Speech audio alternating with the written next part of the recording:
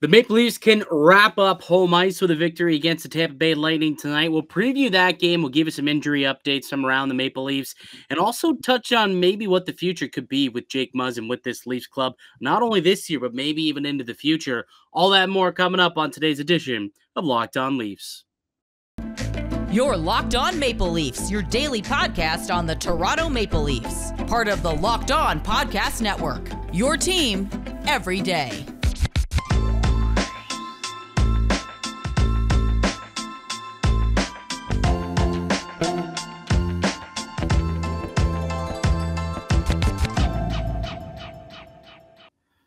Hello and welcome to the Locked On Leafs podcast, your one-stop shop for all things Leafs. I'm your host, Mike DiStefano from TSN 1050 Toronto Radio, also known as Al's brother from TSN's Overdrive and TSN 1050's Leafs Lunch.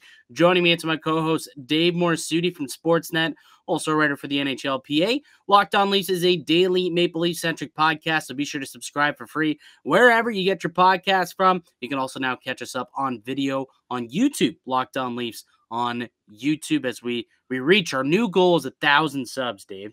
Thousand subs. I think we're close to 600, so we still need 400 of y'all to go and sub up before we initiate our next giveaway. So let's try and get that done uh, ASAP. At least, I, if we can get that done before the playoffs, that'd be most ideal. But certainly before the year's all all finished up. And a long playoff run would give us a much longer run to make that achievement happen. Uh, and speaking of playoff runs, Dave, uh, and the playoffs in general. Tonight could very well be a playoff preview of round one.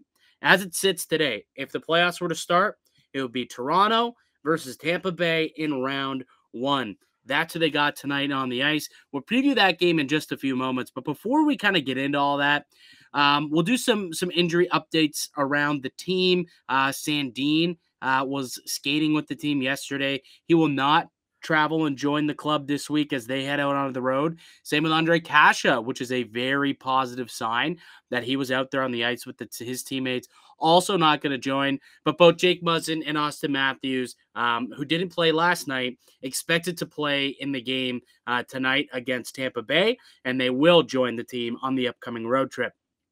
Now, the interesting name to talk about out of that whole group, I think, is Jake Muzzin right now. There's a lot of buzz going on on Twitter. A clip surfaced yesterday. I believe it was David Alter who took this photograph of Maple Leafs hot stove, or it was a, a video rather, posted it on his Twitter timeline of Jake Muzzin doing some skills work ahead of the morning skate. And this was ahead of the morning skate. Let's also get that. Here's here's the video here for those who are on uh, on YouTube. Um, if you want to play a little bit a little bit of this clip, it's it's Jake Muzzin, and he's just kind of skating around, tooting around a little bit. Doesn't look all that too, you know, quick, and it just uh, it's just a weird video, weird vibes and whatnot. Like, what's your takeaway from uh, from this whole setup? And you can see him right here. Looks like he might be laboring a little bit, hands on his knees, bending over. What's your take on this, Jake Muzzin? You concerned about this little video at all? I mean, after all, Dave, we talking about practice yeah, obviously. I mean, we're now trying to dissect something out of you know a practice clip. But yeah, I I didn't at first I didn't see the full clip of him skating away and clearly laboring with something. Um, we're we're all just trying to deduce what exactly is going on here. I'll keep it. I'll keep playing it with uh, some of the other snipes happening. That's Kase, um, by the way, right there in the red sweater. Kase, I think Matthews at one point will snipe on uh, yeah. I think Sandin's out there, Matthews out there, and Jake Muzzin. All the all the injured guys were out there getting uh, getting some work in. But yeah, I'm uh, I'm. It doesn't look good when a guy like Jake Muzzin, who's been out for so long, comes back a few games and he's already out again, and you can tell in that sequence there's clearly something amiss. I like. I don't know if it's got to do something. We know he's had groin issues in the past. We know he's had. I mean, I I don't like to assume. We also know he's had back issues where he's had to wear a brace before. It's clearly something that when he made that turn or when he tried to make a move, it, it just was it wasn't working out for him. And that's concerning to me because once the physicality drives up in the playoffs, Is he going to be able to sustain? Is he going to be able to handle that as part of, you know, his recovery process? I just don't know. It just seems like, you know, he's doubled down. He can't like if you look here, he's still he was still doubled down along the boards. It's clear that something is hampering him. And I don't know how much that's going to improve. You know, this was taken on Tuesday. I don't know how much that's going to improve with the team going out on the road trip. Maybe some Florida sun will do him so good because I know I'm I'm laboring a bit with this Toronto weather right now.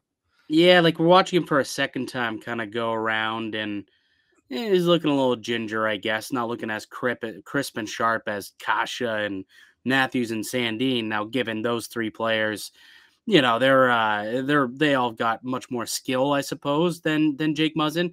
But the foot speed and skating has kind of been the the biggest issue for him, I think, this year. And it, you know, it's it's kind of on display in this clip. I think we can probably bring the clip down at this point. Um, it's on display here, right? Like those concerns of him maybe looking his age at this point, as he's you know up now over thirty years old. I guess the next question is, Dave, like, how confident would you be in Jake Muzzin being in this team's top six come game one if that's the Jake Muzzin that we're getting. And look, there's still five games to go for him to ramp things up, I suppose. And and we're not sure if he's going to play tonight. He's joined the team on the road trip. I would think he's going to try, but whether or not that actually happens remains to be seen. But with five games to go, do you feel like Jake Muzzin can get himself into a position where he is one of the top six defensemen on this team? Or might he be a guy who might be sitting in the press box come game one of the playoffs. Uh, if if he's not able, sorry, if he's not able to get anywhere close to being like if if this is something where he's continuing going to be dealing with something, I just don't see the point. Right? It's not like the Toronto Maple Leafs are in a desperate cry to get Jake Muzzin back. That was part of the reason why Mark Giordano was brought in here. TJ Brodie can play the left side he's he hasn't had that much trouble with it. So is and you know if Sandin's coming back too, that even makes it more interesting in that regard. I I just think this team did a better job to insulate themselves from having to rush Jake Muzzin back, and I don't want a guy who is going to have that injury issue in the back of his mind as they're playing. You know, they're the toughest hockey of the year. I I just don't want that to be a concern for him, and that that you know bleeds into his play. Yeah, like I, that. So that's the argument for Jake Muzzin potentially not getting into the lineup, just flat out. If he's not good enough, he's not good enough. Uh, but at the same time, like he's a veteran of the league, he's a, a, a part of this, this team's leadership, and he knows how to play in the playoffs. Right? He's been there. He's done that. He's won a championship. I think he's one of the only couple of players on this team that has a Stanley Cup ring in their back pocket. So he does bring, you know, a wealth of knowledge and experience. But that's what the old Jake Muzzin brought. Can this new, slow down Jake Muzzin bring you a lot of the same? Or could guys like a Liljegren or a Lyubushkin, like that lineup that they showed last night or the game against Philly, is that maybe the the most optimal lineup that this team could give you? Like perhaps it is. And I think it's an interesting question that uh, that's going to get answered over the the next five games. We'll see if he plays tonight. Like I said, he's on the road trip. We're just not so confident that that he's a, he's definitely not 100. percent We know that. Why he's he's missed the last three games. He's dealing with something.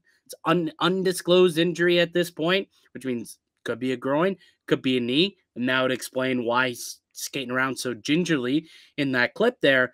But at the end of the day, man, Jake Muzzin, he's got to play better to stay in the lineup. I think at this point, um, if he's not one of the top six players on the ice, I'm not sure you can afford to, you know, just have him there based on merit, being a, a veteran in the league. He may spend some games up in the press box.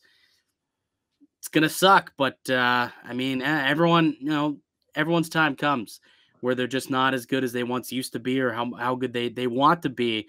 And uh, with Jake Muzzin, a couple of injuries in back to back years, a couple of concussions, you know, perhaps it's starting to turn the other ways. He's he's already reached that point where his play's starting to dip and decline, and you've got other guys who are surpassing him on the depth chart. Timothy Liljegren, one of those guys who's playing extremely well at this point, who may be one of the better six defensemen on this team, and he wasn't really factored into it earlier in the season. We'll see. We'll see what ends up happening with uh, with old Muzzy boy over there.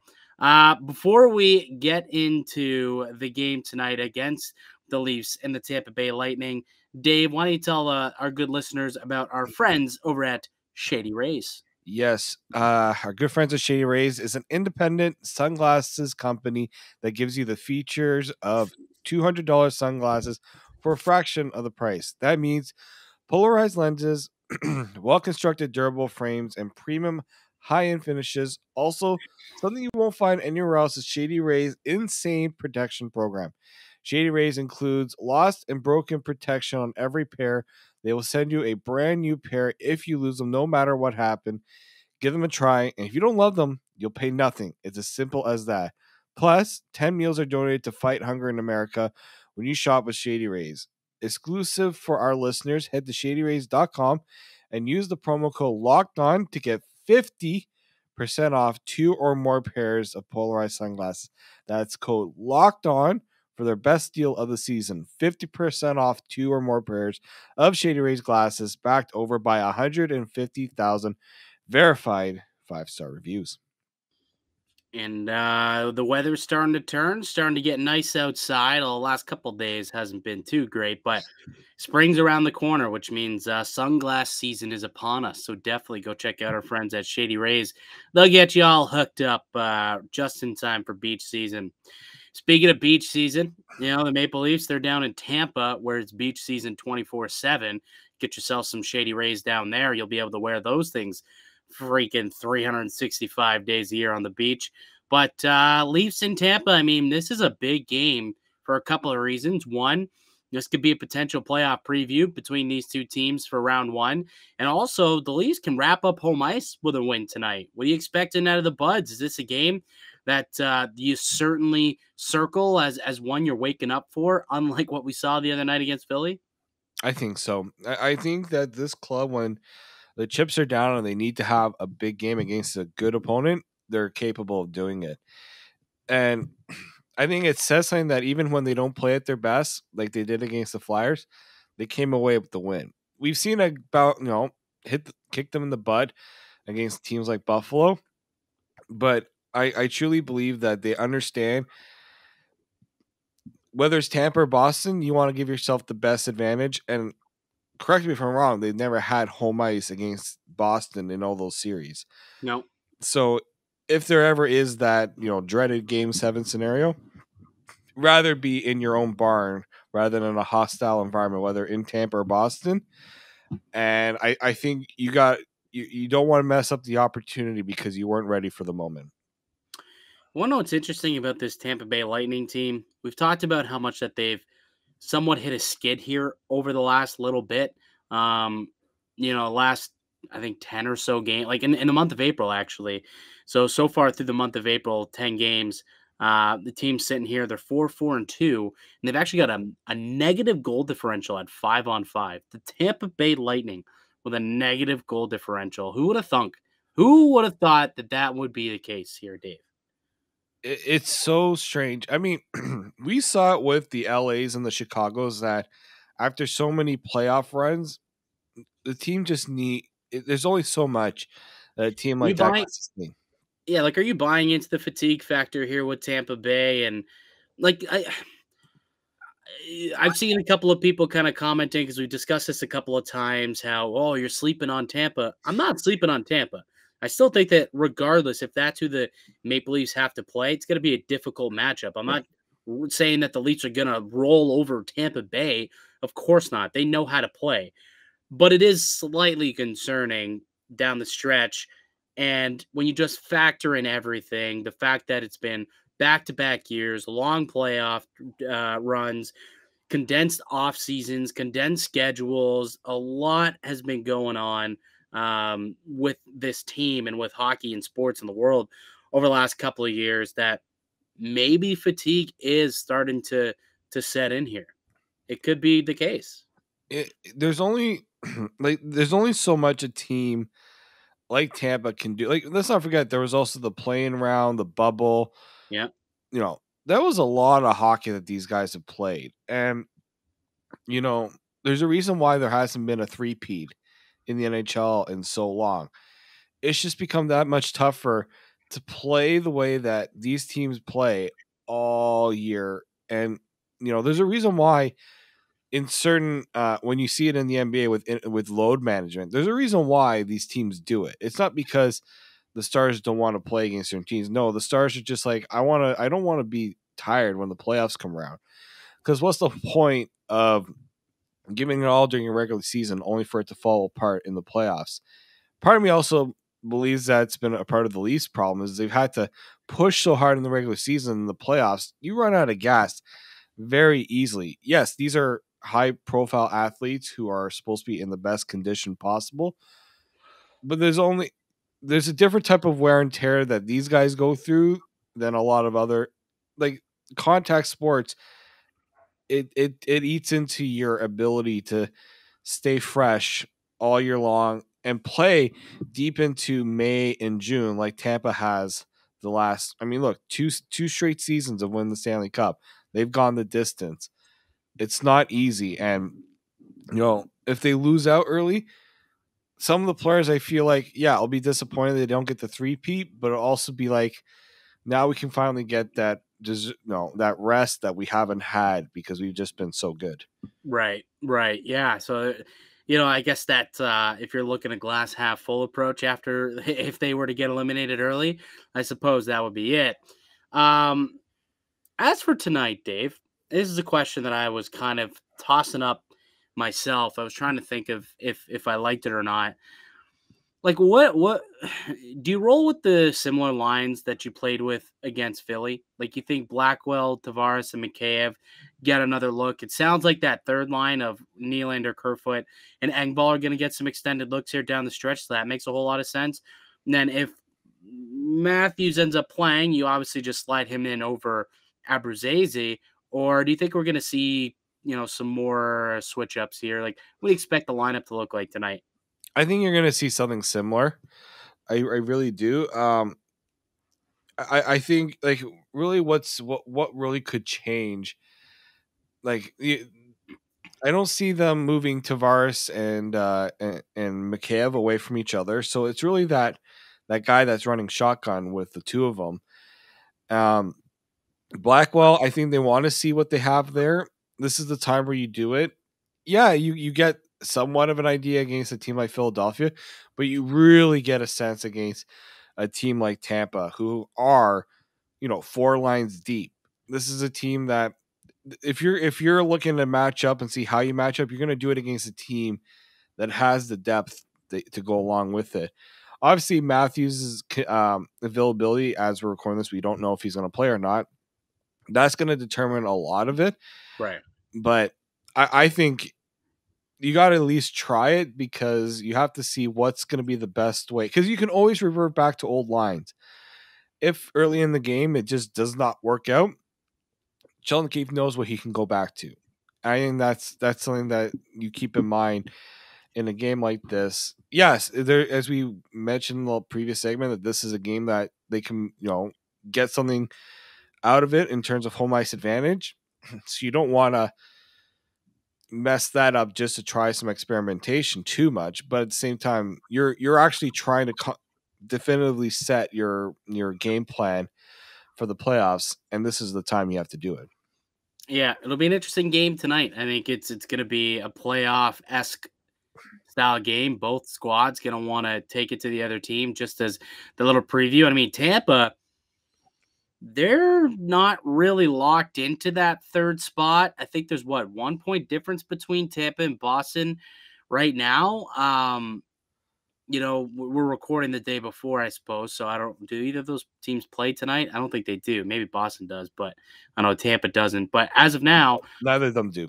They're within a point of each other. So like, you know, they if they don't want to fall out of the wild card spot, I mean, they got to try and win tonight too, right? So they're both going to be in a good position to to want to play well. I'd be curious to see who gets a, that top line assignment though. spoke about a little bit yesterday how I felt that that Tavares, Mikheyev, Blackwell line almost serves as more of a, a checking line than it does like a top six traditional top six line. I'd be curious to see if they end up getting the the matchup against uh, like the Kucherov and Stamkos and uh, whoever they're playing with at the time. That that lineup's always different too. I think that's what makes these two teams so good. It's kind of the the flexibility within the lineup to do different things and still have that success. Right? Like the NHL is such a Mickey Mouse league, and most pro sports are, not just the NHL. And who's the team who's been on top after the last couple of seasons? It's Tampa Bay Lightning. So you talk about the flexibility, the depth that they have on the blue line on the back end. Clearly, they have the advantage in net with with world class goaltender Andrei Vasilevskiy. But at the end of the day, like it's it's just such a great matchup, and uh, I think I think that the Maple Leafs they typically wake up for these games. Should be a fun one. Should be a fun one tonight. Uh, why don't we take one more quick break and then we get back? Let's do some co-sign no sign, Dave, one of our favorite weekly segments here on the podcast. And uh, if you do believe that the Maple Leafs pull it out tonight, you can make a wager at betonline.net you certainly can do that.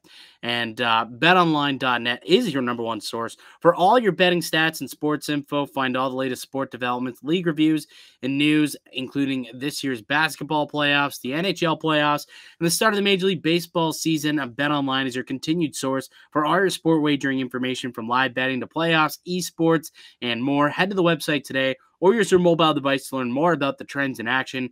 BetOnline, it's where the game starts. Welcome back into the Locked On Leafs podcast. I'm Mike DiStefano. Got Dave Morassutti with me. We're your hosts here of Locked On Leafs, a daily Maple Leafs podcast in which you can find via audio form wherever you get your podcast. And we're also now up on YouTube. Would really appreciate it if you went and subscribe to us on YouTube, leave a comment, a like, all that jazz. It would uh, really help with the algorithm, which could help us gain in popularity. I think it'd be cool. And we're on a road to a thousand, and uh, we need oh, just just over 400 more subs to get there. So we're over halfway there, but still a little ways to go. Um, we're gonna play some co-sign no sign, Dave. Uh, this is one of our favorite segments. We do it each and every week. Uh, I'm gonna make a statement, and if you agree with it, you co-sign it. If you disagree with it, you no sign it. Vice versa with you and I. We both have three statements prepared for this section.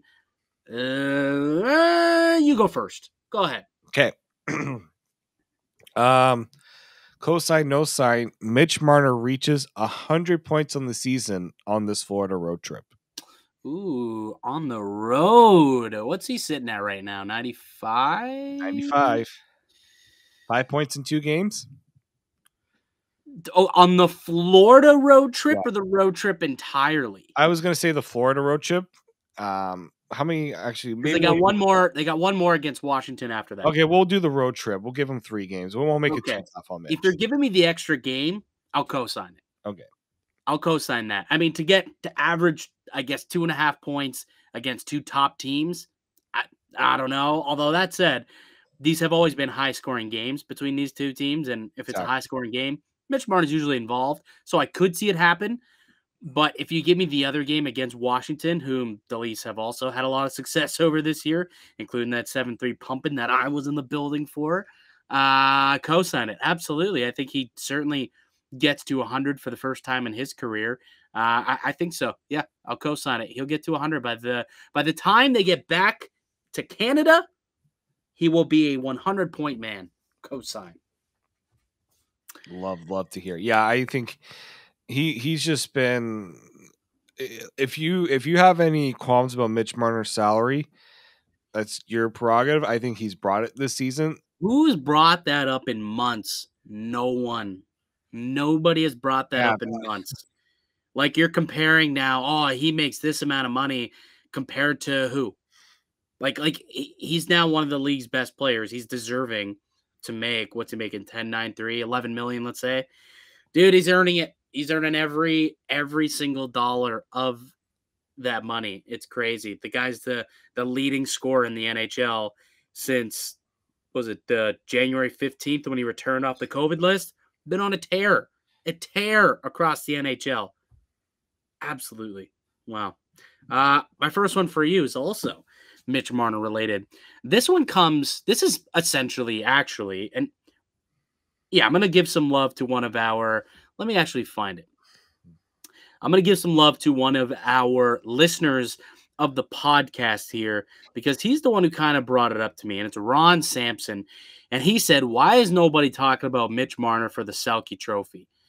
And I got to tell you, I think he belongs in the conversation. So, cosign or no sign, Mitch Marner should be getting way more love for the Selke trophy and will finish on the ballot. Ooh, that's a good one there. Um, ugh. I think he'll get on the ballot. I think there's a good chance he'll get third. It depends on who's who you're asking, right? There, when everybody talks about, you know, the Selke, you never hear Mitch Marner's name. Um, the Athletic actually had a really good article about that. Uh, Shayna Goldman actually wrote about this, and traditionally the Selke has always been about. If you look at it, it's mostly centers that got on that ballot. Yeah. Bergeron, O'Reilly. Some people have brought in Elias Lindholm, Barkov. So even some people have put Matthews over Marner, which yeah. in some cases people are saying, well, he doesn't play. Uh, kill. Matthews doesn't play on the penalty kill, which know, most defensive situation you can put for a forward. I just think the numbers speak too much on Patrice Bergeron and what he's been able to do. That he likely wins it, but I think there's a good chance Marner gets into the conversation of the top five. But three is where I'm going to put his ceiling because I just think there's going to be guys that will have just based off of reputation will be above Marner. All right, all right, yeah. I the center winger debate always is something that pops up with this, and I think also uh, I, I, I saw the piece that Shayna wrote, and she touched on saying that it, it, not only is it center based, but it's also like who's the best. It's transformed into not who's the best defensive forward, but who's the best two way forward as opposed to the best defensive, which was what this originally was supposed to be, right? And and it's turned into okay, who plays both ways better than anybody else? And um, Mitch Marner at this point in his career, um, especially this year, eh, right up there with the best of them for who plays a two way game. Uh, his offensive numbers speak for himself, but also like what he's been able to do on the penalty kill has been exceptional. And to speak to Auston Matthews, pretty sure he still leads the NHL in takeaways among all forwards. So that's pretty impressive as well when you yeah. talk about uh, defensive metrics. When you're quite literally taking the puck away from the opposition, it usually means uh, you're, you're doing good things defensively. Uh, all right. Second one for you, Dave. Go ahead. Second one for me is not Leafs related. I've been keeping an eye on the NHL scoring race. And I don't know if you noticed, Jonathan Huberdeau put himself atop of it after moving past Connor McDavid.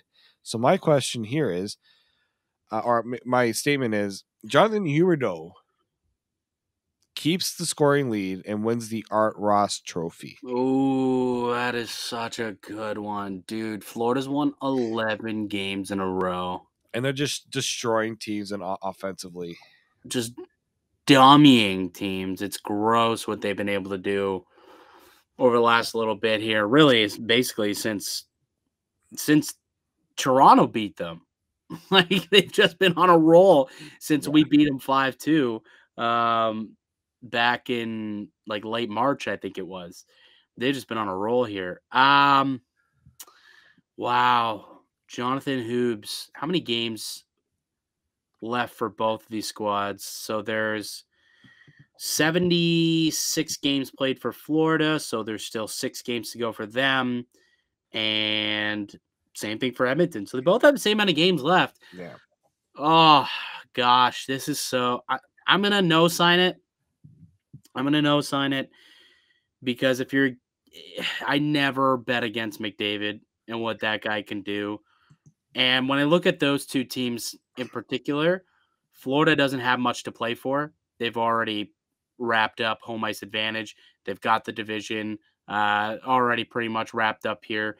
And also, I'm pretty sure they got what a 10 point lead on Carolina for even like Eastern Conference to have it all the way through to the uh, all the way through if they get that far, at least to the Eastern Conference Championship. So they're not playing for much. So they could end up sitting Huberdeau for a game or two. So maybe you get at Calgary or Edmonton, who still is. They're only two points up on LA. They had a couple of games in hand, but they're playing for something over there in uh, in Edmonton still. So I'm gonna roll with McDavid. Also, don't don't bet against McDavid. It's just that's just stupid to bet well, against that guy. I, I saw one person say John uh, Johnny Gaudreau should get some love too because he's he's just three points behind, and he's been on a Dude, tear. That guy's murdering any goaltender defensive corps that he goes up against lately. Yeah, that would be something, man. If that guy ends up winning the the the scoring race, I wonder which leads into my next co-sign no sign. Auston Matthews, despite missing the past couple games, will still end up becoming the Hart winner. This is so interesting because I read that having the aren't the Leafs six and one in the last seven games without Auston Matthews. They are. Some people are going to be like, "Well, how valuable can he really be if the Leafs still win without him in the lineup?" I know, and you look at the season Gaudreau has had and the finish that he is having here, like he's crept up. It's almost 50-50 at this point, Dave. I truly believe that. I also think that those who are voting for the Hart will look at Matthews' points per game and not just you know looking at points and what Matt. I, I just think what it, it's not just the value of Matthews whether he's in and out of the lineup because when you look at what he's in the lineup, there's no player better on the Leafs. Like there, we can't say there's a player more valuable on the Leafs than Auston Matthews. And I think that's where that's where the argument I think lies with also with Calgary. John is really good. Some people would, might even say, is he more valuable than a Tkachuk or Elias Lindholm? I, have heard that argument at, at, some points. Now, lately, John Gaudreau's made that basically that point almost invalid because of the way he's played. Right. But do you think if if uh, if Car- if Calgary doesn't have Johnny Gaudreau, they're worse off? I don't know because they still have other guys that can step up. Um, I don't know, man. That guy's so tough. I still think Matthews, and he's picked up his game on the defensive side of things yes. too. That's something that that doesn't get talked a lot. Like Gaudreau, first of all, plus minus whatever you want to say about the stat. When you're a plus sixty one, plus sixty one, it says something. You're on the ice 61 more times when you score a goal than when you are scored on. That still says something about the way that you play on both ends of the ice. Um, and at five on five, Johnny Gaudreau does lead the NHL 70 points at five on five. And of those 70, only eight are secondary. So 62 of his 70 points at five on five this year are second or are, are uh, primary points, which means he's the one who's driving a lot of that play. I don't know, man. I've almost talked myself into Johnny Hockey, and a lot of it is honestly recency bias with Matthews kind of getting slowed down by play, not playing a couple of games, and Johnny Hockey going off in those days to really bring it to kind of a standstill at this point. It's wild. It's wild. Um, third one for you, Dave. So third one for me has to do with um, good old Mister Michael Bunting. Mm, we had the same one, I bet. Michael Bunting finishes with the rookie goals and points lead. Mm, goals and points lead. Let's see where he's at right now. I know he's leading in points, but he's what one shy of Tanner Jeannot for goals. I want to say. Yep, he's got twenty three. Jeannot's got twenty four. Yeah, I'm gonna co-sign this. Um, he's on fire right now too. Like the floodgates have opened for him. They have. Like this dude, he's got multi-point games in five of his last ten. He rattled off three straight multi-point games before last night. Like the guys, he's getting it done. He's putting the puck in the back of the net again after going on that was that 18 straight games, 17 or 18 games in a row without scoring. the fact that he still is only one goal back of the rookie lead after an 18 game stretch of not scoring just goes to show like how great that middle portion of his season was. Um, yeah. But ultimately, yeah, I think that he's going to do it. He's still playing with Marner and Matthews, and they're just firing on all cylinders at the same time. And he's playing extremely well himself. So, yeah, I'm going to co sign it, which Michael Bunting, my next co-sign no sign has to do with him as well. Michael Bunting will win the Calder. Oh man, I he's gonna be a finalist. I still think people picked Moritz Seider like a month into the season. That has like it hasn't changed. I hate when that happens though. Like people oh, yeah. cling on to the first little bit of information that they get, and they hold on to it thinking you know th- this is this is for real this is true and early on in the year it did seem like he had it pretty well locked up and then michael bunting slowly and surely chipped away chipped away chipped away and at this point when you go and you look at the numbers and i saw evolving wild actually put out a tweet about this yesterday as well and they said michael bunting according to our model is by a mile having the better rookie season than anyone else in the conversation. Like it was Michael Bunting and then like five or six guys. It wasn't even like Bunting. bless you. It wasn't even Bunting and then uh Seider and then bunch of guys. They had Seider in a group with like Tanner Jeannot. Um, also Timothy Liljegren, they said, was in that similar group, which I thought was real interesting. That's interesting too. But Michael Bunting, here's the statistic that I'm going to drop on you. I I got into this the other day on Leafs Lunch, so I got I got some facts and stats to back this up because I believe he is deserving of the Calder. Whether or not he wins it, again, I think your your line of thinking is correct, where people just automatically believe it should go to Moritz Seider. And you could, you know, rattle off the reasons why. He's a defenseman. He plays in all situations. He's younger and uh, you know he's a defenseman who's putting up just gross offensive numbers that doesn't come around a whole lot. That's all true. But Michael Bunting is also doing those things as well. And and he's doing it. It's his first full season in the NHL and he's knocking on the door of 70 points. Michael Bunting, if you look at the numbers, dude, at 5 on 5, right? And and I had to double check, triple check this statistic because I thought it was so wild. But at five on five, he has more points than Connor McDavid, Leon Draisaitl, Kirill Kaprizov, Nathan MacKinnon, Patrick Kane. Do I need to go on and, and, and, rattle off a bunch more names, or is that enough for you? The fact that he legitimately is out producing all of those players at five on five, and, and you're not ready to hand this guy the award, He's a point per game player since the All Star game. Point per game player since the All Star game.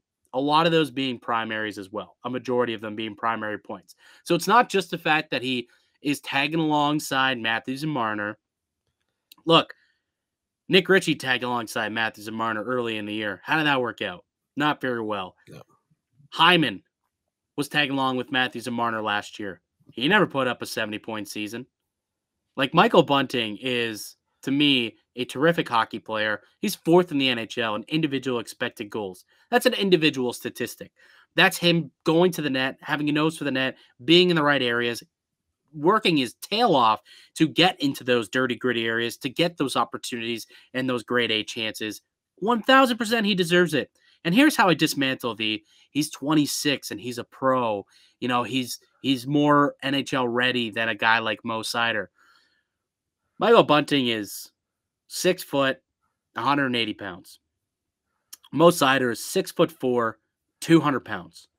Who's more of a like uh, whose body is filled out more so, I guess? Who's got more of that man strength to compete in the NHL? Mo Seider at 6'4, 200 or uh, Michael Bunting at six foot is what he's listed at. That might even be a little generous if I say so myself, and a buck 85. So if you talk about the size component for him being older, his body's grown, he's more mature. I don't think that's really a good argument.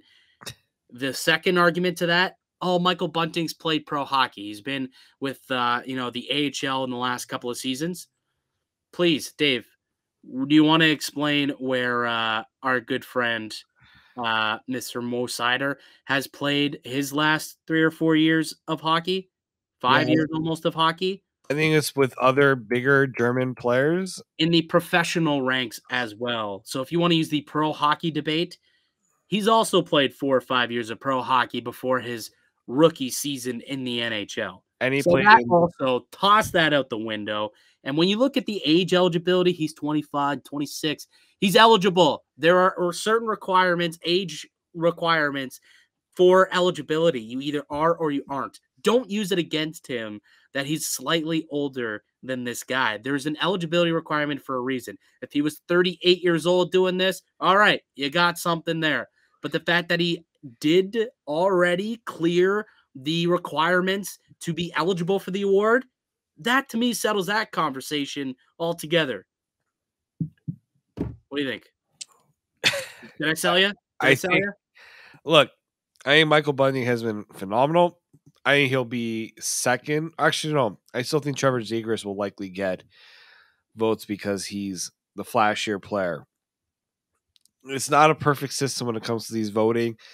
If we're thinking about this, and other people are definitely thinking about it, and you know, You know what's funny though? You, know what's funny? We're having this conversation, right?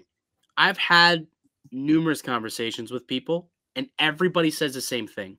Oh, we know the voters, the voters do this. Last year, if we look at the ballot, a majority of people would say the voters got it right. The voters were right. So I wonder if now, when you bring in analytics and you you talk about the way the industry is changing, and a lot of the voters are younger and have more adaptive to analytics, they have more information at their disposal. If the mind, the shift, there's a shift also coming in the way that people vote. And remember when I talked about how people cling on to that first bit of information? It's almost like a couple of years ago. Remember, everyone said Aaron or um, Alex Barkov, the most underrated player in hockey, right? That was what everyone said every time, anytime you were asked. Well, if everyone believes that this guy's the most underrated player in hockey, is he really the most underrated player in hockey? If that's the consensus answer across the board? No, I don't think so. So if every single person you talk to sitting here saying, oh, I think the voters are going to do it based on the age, they shouldn't, but I believe they will. Don't you think the voters are having the same conversation themselves? We shouldn't do it based on age. And every year, this conversation comes up when there's an older, uh, an older um, participant.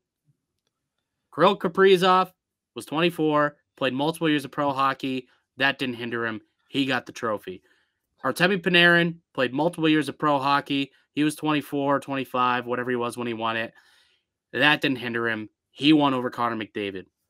I think they will do the exact same thing with Michael Bunting. It's just what we talk about, but at the end of the day, when you actually break it down, the voters do get this right a lot of the time when it comes to this. Uh, and I think Michael Bunting is not only deserving, but I hope they give this man the trophy because he is most deserving of it, I would say. He's had the best rookie season of all the rooks, and that's what this award is. Not most valuable rookie, who's the best, who had the best season.